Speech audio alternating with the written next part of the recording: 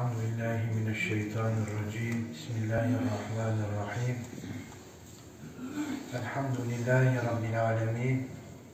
Ve salatu vesselamu ala eşrefil murselin. Seyyidina Muhammedin ve alihi ve sahbihi ecmaîn. Allahümme enfa'na bil Kur'anil azim ve barik lana fihi. Rabbi zidna ilmen ve fehmen ve elhikna bis. Allahu Zülcelal vel Kemal Celle Celaluhu Hazretlerine sonsuz hamdü senalar, nihayetsiz şükürler olsun. Resul-i Ekrem, Nebi-i Muhterem, Habibi Huda Muhammed Mustafa sallallahu aleyhi ve selleme ehline, ashabına ve etbaına salat ve selam olsun. Cenab-ı Hak tevfikat-ı cümlemizi mazhar eylesin. Sevdiği ve razı olduğu kulları arasında bizleri de dahil eylesin. Mevla-i Müteal cümlemize afiyet üzere rızasınca bereketli bir hayat, ihlas ve takva üzere yaşanan bir hayat, iman ve şehadet üzere de teslim ruh etmeyi nasip eylesin. Mevla-i Müteal cümle geçmişlerimize rahmet eyleyip, hastalarımıza acilen şifalar ihsan eylesin. Diyelim ve dersimize başlayalım. En'am suresi 7. ayeti kerime ile Cenab-ı Hak inşallah bize rızasına uygun hüsnü ifade etmeyi cümlemize de güzel istifadeler nasip eylesin. Estaizu billah, bismillah. وَلَوْ نَزَّلْنَا عَلَيْكَ كِتَابًا ف۪ي قِرْطَاسٍ فَلَمَسُوهُ بِأَيْدِيهِمْ لَقَالَ الَّذ۪ينَ كَفَرُوا اِنْ هَذَا اِلَّا سِحْرٌ مُب۪ينٌ Sadakallahu aleyhi. وَلَوْ نَزَّلْنَا Şayet biz indirseydik aleyke sana kitaben, kitabı yani Kur'an'ı biz sana şayet indirseydik ey Habibim fi kırtasin yani bir kağıt üzerine yazılı bir kitap halinde Kur'an'ı biz sana indirmiş olsaydık ey Habibim bi eydihim elleriyle de ona dokunsalardı lekâlellezîne keferû kafirler şöyle derlerdi in hâdâ illâ sihrun mubîn bu apaçık bir sihirdir derlerdi. Kısaca ayetin meali bu. Bu ayet-i kerimenin nüzul sebebiyle alakalı denilir ki bazı müşrikler Efendimiz Aleyhisselam'a geldiler. Dediler ki senin peygamber olduğuna bizim iman etmemiz, inanmamız, seni kabul etmemiz için kitabı yani sana vahiy geldiğini iddia ediyorsun ya ortada gözümüzle gördüğümüz bir şey yok. Madem peygambersin o zaman Allah sana bir kitap indirsin. Böyle biz de görelim sana inmiş bir kitap. Görelim ondan sonra inanırız. Demeleri üzerine Cenab-ı Hak ayet indiriyor ki senden kitap isteyenler sana biz kitabı bir sayfaya yani Musa Aleyhisselam'a verdiği gibi levhalara yazılı vaziyette İsa Aleyhisselam'a indirdiği gibi bir kitap olarak Kur'an'ın ayet ayet değil tamamlanmış bir kitabı indirsek elleriyle de ona dokunsalar diyor Mevla. Hani gözleriyle görseler göz aldatıcı olabilir. Çünkü sihir göze hitap eder. Göz yanılgısıdır sihir. Ama elinle dokunduğun zaman onun sihir olmadığını, hakikat olduğunu anlarsın. Elleriyle dokunsalar bile Allah diyor, ne derler? Sen apaçık sihirbazsın, bu yaptığında bizim gözümüzü boyamak, bu bir sihirdir derler, yine inanmazlardı Mevla diyor. Kur'an'da Cenab-ı Hak bu inkarcı, inatçı, inanmak istemeyen gavurlar, kafirler, küfür ehli hakkında buna benzer bazı ayetler daha indirdi ki o zihniyeti, o güruhu anlayalım, tanıyalım diye. Yani dünyada böyle tipler var, böyle insanlar var. Hani siz kendinizi ifade edemiyorsunuz. Aynı dünyada yaşadığınız, aynı toplumda yaşadığınız, bu zihniyete sahip insanları anlamak adına bunlar sadece peygamber zamanının gavurları değil. Kur'an ne diyecek bize? Teşabehet kulubu. Bunların kalpleri birbirinin aynıdır Allah diyor. O zamanın kafirlerinin kalpleri nasıl ise bu zamanın kafirlerinin de zihniyeti aynı. Cisimleri değişti, şekilleri, isimleri değişti, zihniyet değişmiyor. Mevla da bize kafirlerin, inatçı, inkar eden, inanmak istemeyen, hakikati görmek istemeyenlerin zihniyetini anlatıyor Mevla bize. Bu ayet şöyle dursun. Şimdi Kur'an'da birkaç ayet daha okuyalım. Onlarla alakalı. Rabbimiz buyuruyor ki Araf suresi 146. ayet. Ve in yarav külle ayetin la yu'minu Bütün ayetleri görselerdi diyor Allah. Şayet yani ayeti siz mucize olarak da anlayabilirsiniz. Bütün mucizeleri görselerdi la yu'minu gene inan inanmazlardı Mevla diyor. Ve lem nu'mine li rukiyike bazılar Efendimiz'e kendiler ne dediler? Nu'mine leke. Biz sana asla inanmayız. Niye? Rukiyike hatta tünezzile aleyna kitaben nekra'u. Elimize okuyacağımız bir kitap bize getirmediğin müddetçe seni şöyle göklerde, yükseklerde, göğe çıkarken görsek gözümüzde gene sana inanmayız dediler. Ayet bak o zamanın kafirleri, müşrikleri Efendimiz'e ne diyorlar? İlla sen gökten bize bir kitap öyle ayet ayet efendim falan zaman bir ayet inecek falan zaman bir ayet niye 23 senede tamamlanacak? Madem peygambersin Allah kitabı tek bir elden niye indirmedi? Önceki peygamberlere yaptığı gibi. Biz gözümüzle seni semaya çıktığını görsek gene kabul etmeyiz dediler. Başka ne dediler? وَلَنْ فَتَحْنَا Bu da Hicr suresinin ayeti. وَلَنْ فَتَحْنَا عَلَيْهِمْ بَابًا مِنَ السَّمَاءِ Rabbimiz diyor ki bu zihniyette olan adamlara biz semanın kapılarını açsak diyor Allah. Göğün kapılarını onlara açsak. فَضَلُّوا ف۪يهِ يَعْرُجُونَ Onları da sema kapılarından gökyüzüne çıkartsak diyor. Yani bu tipleri Allah gökyüzünün kapılarını bırak aya gitmeyi şimdi aya gideceğiz diye efendim onu eleştirenler, bunu alay konusu yapanlar, semanın kapılarını Allah açsa da sizi göğe yükselse diyor Mevla, لَقَالُوا سُكِّرَتْ اَبْسَارُنَا بَلْ نَحْنُ قَوْمٌ مَسْعُورٌ derler ki gözümüzü herhalde boyadılar. Bu herhalde yani göz boyamak, gözü aldatmak için yapılan biz sihirlendik, büyülendik herhalde biz derler. Gene inanmazlar Allah Yani o tipler hala dünyada yaşıyor. Onun için Mevla Kur'an'da bunları bize örnek olarak anlatıyor. Bir ayet daha okuyalım bunları tanımak adına. Velev ennena nezzelna ileyhimul melaike. Biz onlara melekleri indirsek şayet diyor Allah. Siz çekilin arada. Siz bunlarla baş edemiyorsunuz. Siz bunlara laf yetiştiremiyorsunuz. Siz bunların anlayacağı dilden konuşamıyor. Siz bunları ikna edemiyorsunuz. Sizi bu manada yani yeterli görmüyor muhataplar ya bu zihniyet. Siz çekilin Allah diyor. Ben melekleri indirsem bunlara ve kellemehumul mevta ölüleri mezardan dirilsem bunlarla ölüler konuşsa ve haşerne aleyhim külle şeyin kubula ey peygamber senin hak peygamber olduğunun şahidi, delili etrafındaki her şey yani sütun dile gelse, avize dile gelse, halı dile gelse, sana şahitlik yapsalar ne olacak? مَا كَانُوا لِيُؤْمِنُوا اِلَّا يَشَاءَ Allah'ın diledikleri müstesna gene inanmazlar Allah diyor. Nasıl bir tip anlatabiliyor muyum? Bu zihniyetteki insanlar hala bu toplumda, bu dünyada varlığını devam ettiriyorlar. Böyle insanlara siz ne anlatacaksınız? Haşa, meleklerin anlatamadığını, peygamberin anlatamadığını sen mi anlatacaksın?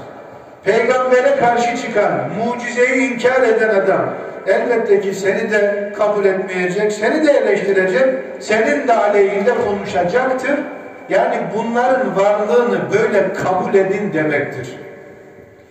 Ama bir ayetle bu konuyu geçelim. Rabbimiz Teala buyuruyor ki وَلَوْ جَاءَتْهُمْ كُلُّ آيَةٍ Bütün ayetler onlara gelse, bütün mucizeleri görseler gene inanmazlar da hatta yeravul azabel elim ta ki bunlar azabı, cehennemi görünce o zaman inanacaklar Mevla. Bunlar cehennemi görmeden inanmayacaklar. Cehennemi görünceye kadar inanmayacak olanlara da bizim söyleyecek sözümüz yok. Nuh Aleyhisselam oğluna bir peygamber laf anlatabildi mi? Gökyüzünün kapıları açıldı. Bardaktan boşanırcasına lafı hafif kalır. Yani bir anda hiç olmayacak karada Nuh'un yaptığı gemi denizin üzerinde. İnsanlar denizde boğuluyorlar, gulu gulu yapıyorlar.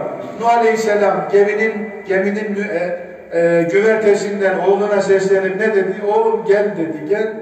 Görüyorsun dedi yani bundan kaçış yok, kurtulamazsın. Şu gemiye binersen kurtulursun dedi. Oğlu ne dedi? Bir peygamber ya babası. Sen dedi efendim sana inananlarla yoluna devam et. Ben dağa çıkarır kurtulurum dedi. Gözüyle görüyor ya az sonra gebeleceğini, boğulacağını anlıyor. Ben dağa çıkarım kurtulurum o gemiye binmem dedi. Musa Aleyhisselam'ın peşinden giden Firavun ve tebaası, ordusu Musa Aleyhisselam'a Kızıldeniz yarıldı, yol oldu. E Firavun anlamıyor mu bu Musa'nın mucizesidir diye? Onun arkasındaki, onun peşinden giden gavurlar görüyorlar gözleriyle apaçık bir mucize. Demediler ki ya biz bunun peşinden gidiyoruz ama bu hakikaten peygamber bak deniz yarıldı deniz. Yani efendim otobanı görmeyenler, havaalanlarını görmeyenler ya Firavun denizi görmedi denizi. Yarıldı da yol oldu. Bu mucizeye karşı durup da ben yanlış yapıyorum demeyen, göz göre göre ölümüne denize dalan Firavun. Bak ne diyor Mevla? İnanmaz bu adamlar. Siz ne yapsanız boş anlatamazsınız. Musa Aleyhisselam yanında ona iman eden kavmiyle Firavun'un zulmünden kurtuldular. Denizi Allah onlara yol yaptı. Bu mucizeleri gören yaşayan İsrailoğulları. Ondan sonra çölde ya Musa biz ne yiyeceğiz, ne içeceğiz burada? Tamam siz sakin olun. Endişe etmeyin dedi. Peygamber dua etti. Allah gökten bıldırcın eti gönderdi. Kudret helvası indi Mucizelerle hayatını devam ettiren Beni İsrail zaman sonra ne dedi Musa Aleyhisselam'a? لَنْ نُؤْمِنَ لَكَ حَتَّى نَرَ اللّٰهَ جَهْرَةً Allah'ı bize aşikare göstermedikçe seni dinlemeyeceğiz, sana inanmayacağız, kabul etmeyeceğiz. La bu kadar gördüğünüz mucize yetmedi mi size Allah gözünüzü doyursun? Biz hiç mucize görmeden inandık ya. Siz bu kadar mucize gördünüz. Hala diyorsunuz ki Allah'ı da göster bize. Aksi halde inanmayız. Ne anlatmaya çalışıyorum? Mevla Teala yeryüzünde bu zihniyete sahip insanlar var ki yani peygambere geldiler kitap halinde inseydi kabul ederdik böyle perakende vahiy ayet ayet indiği için biz seni kabul etmiyoruz diyenlere bakma sen Habibim diyor. Onlar kitabı ellerine versen aha vahiyle bak dünya kitabına benzemiyor. Yazıların bizim matbaa yazılarına benzemiyor. Vahiy kalemiyle yazılmış. Elleriyle tutsalar gene inanmazlar Allah diyor. Evet, onların ıslahı ancak cehennemde. Hatemallahu ala kulubihim. Allah onların kalplerini mühürlemiştir.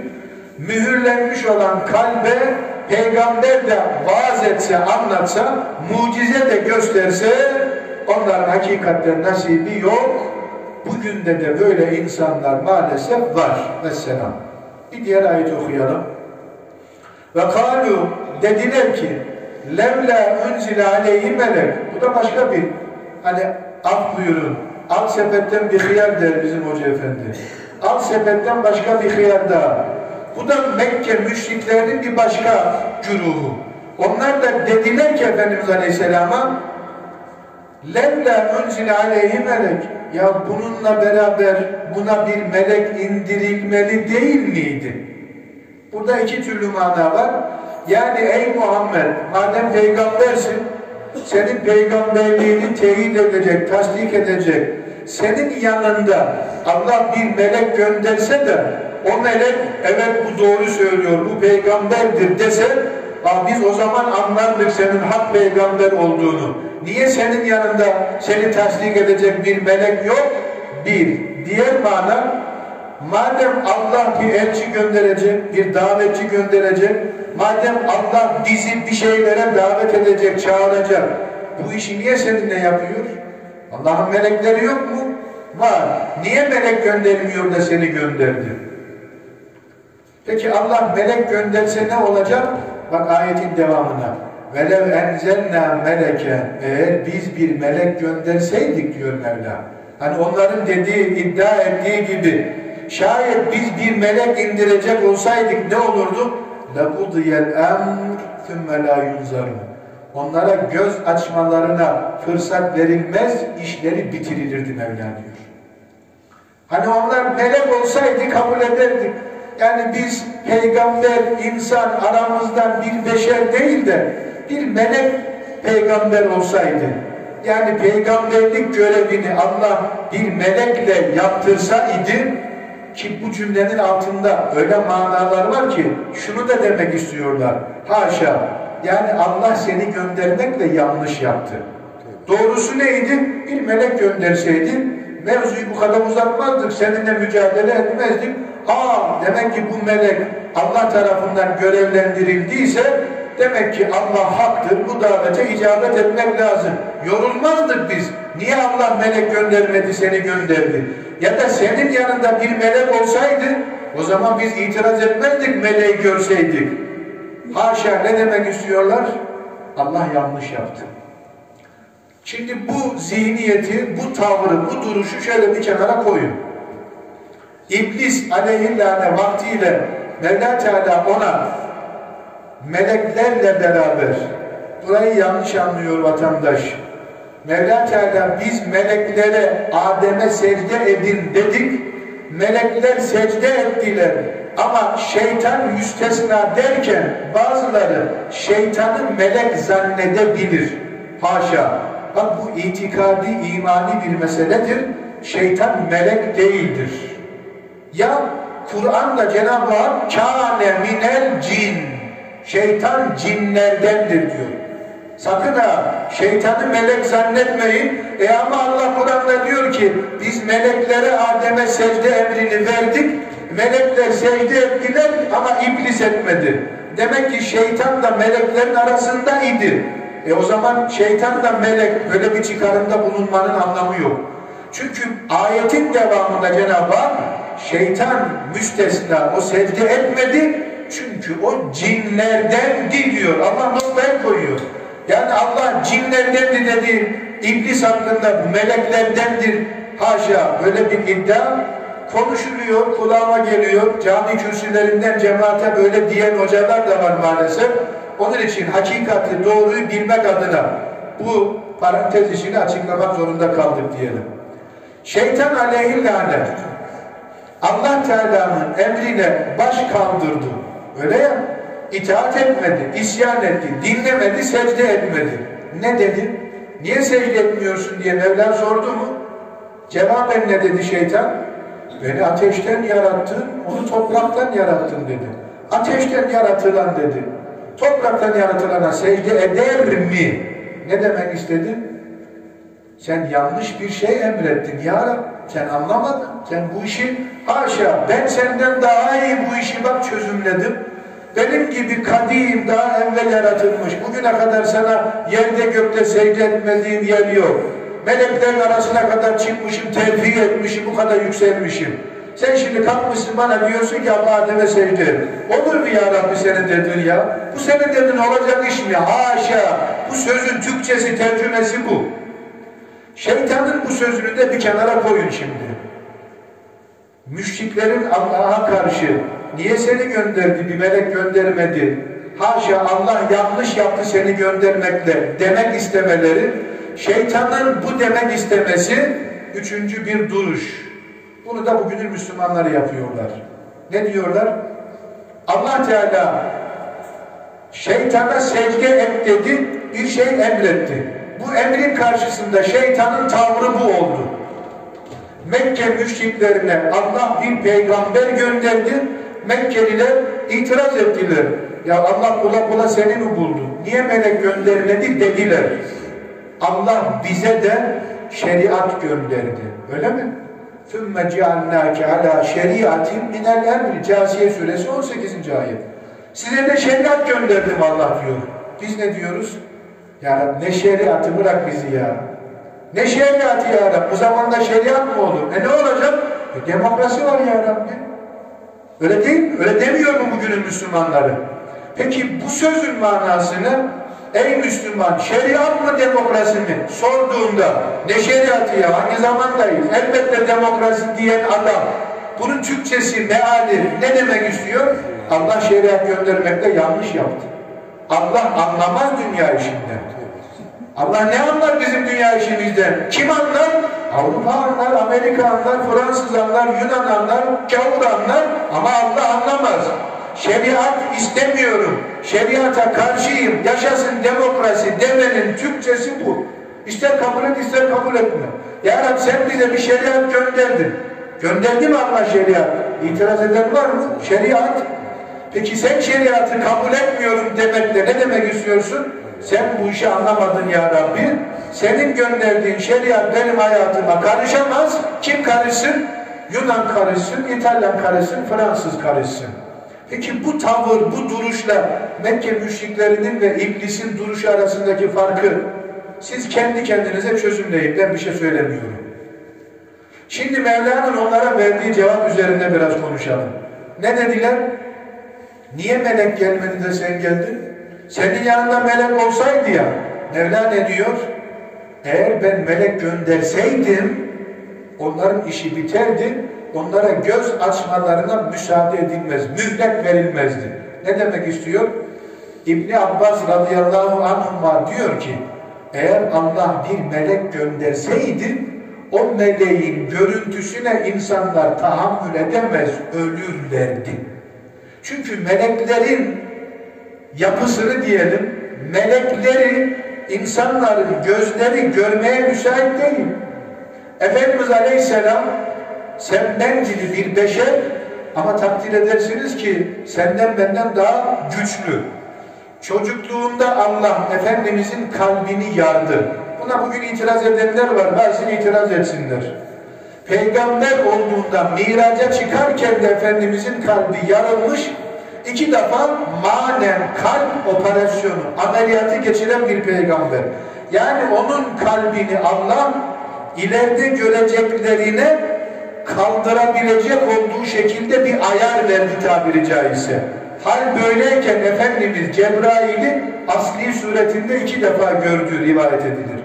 Bir Hira'nın ufuklarında Cebrail'i görmüştür, bir de Sidretül Münteha'da görmüştür.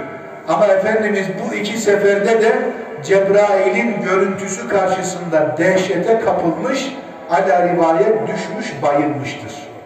Cebrail'in o, o meleğin asli suretini görmeye peygamber dayanamamış. Senden nasıl dayanacaktık? Hatta İbn-i Sa'd'ın tabakatında anlatıldığı üzere Hz. Hamza radıyallahu anh diyor. Efendimiz Aleyhisselam'a bir gün dedi ki Ya Resulallah dedi. Yani Cebrail sana geliyor ya şu Cebrail'i dedi ben görmek istiyorum dedi. Dünya gözüyle Cebrail'i görmek istiyorum. Efendimiz Aleyhisselam dedi ki amca dedi bunu isteme dedi. Zira göremezsin dedi. Kaldıramazsın, dayanamazsın. Hazreti Hamza'dan bahsediyoruz. Yeğenim dedi ben gözümle gördüm hiçbir şeyde korkmam dedi bilirsin. Ben kaldırırım dedi. Yani Allah'ın aslanı denilen bir adamdan bahsediyoruz. İtiraz etti, ısrar etti. Efendimiz Aleyhisselam peki amca sen kaşındın tabiri caizse. O zaman bekle dedi.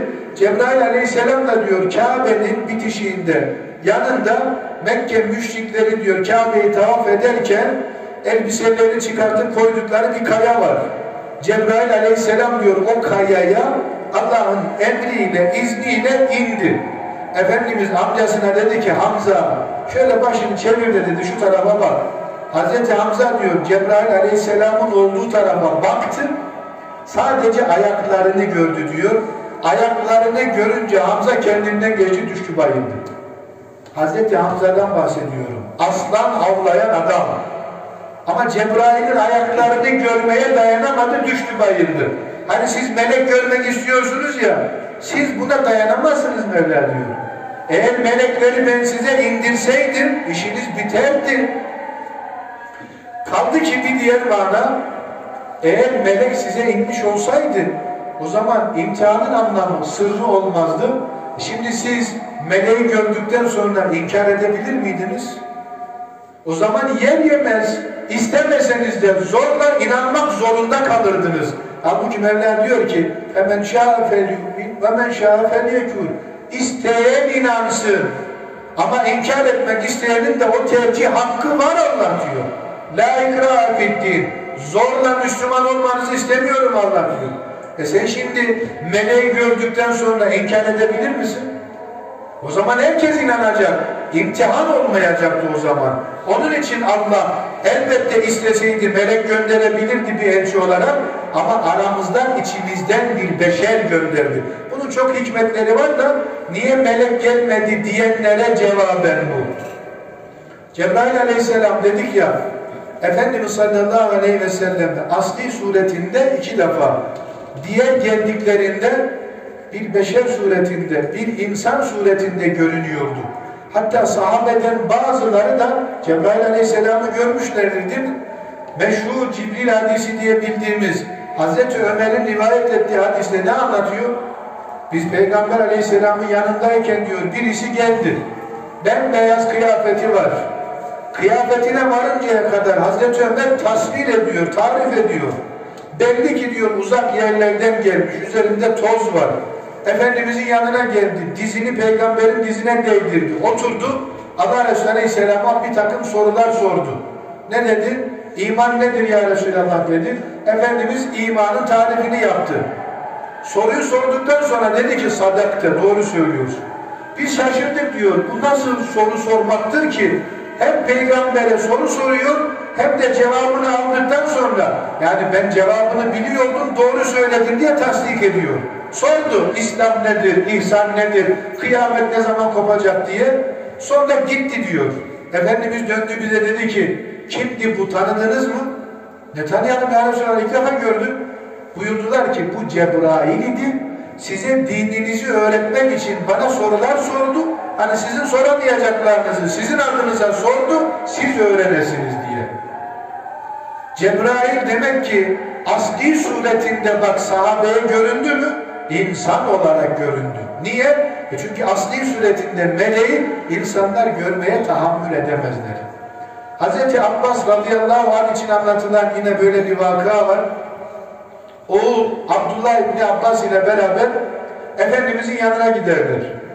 Allah Resulü Aleyhisselam'ın yanına varırlar. Abbas, peygamber amcası radıyallahu anh Efendimiz'e selam verir. Selam aleyke ya Resulallah.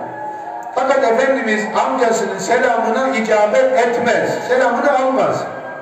Hazreti Abbas kendi kendine yani herhalde duymadı beni. Öyle niye selamımı almasın? İkinci kez Selamun aleyke ya Resulallah. Efendimiz yine selamını almaz, karşılık vermez. Abbas radıyallahu anh bu işte bir tuhaflık var der. Üçüncü kez Esselamu aleyke ya Resulallah. Selam verin. Efendimiz yine cevap vermeyince Abbas bu sefer artık selamımız da alınmıyor. Burada ne işimiz var? Selamımızın da alınmadığı yerde niye duralım der. Alınganlık gösterir tabiri caizse. Oğul Abdullah'ın elinden tutar. Abdullah henüz küçük çocuk. Ayrılacaklarken Abdullah babasına der ki baba görmüyor musun der peygamber meşgul şu an biriyle konuşuyor o yüzden senin selamını almıyor.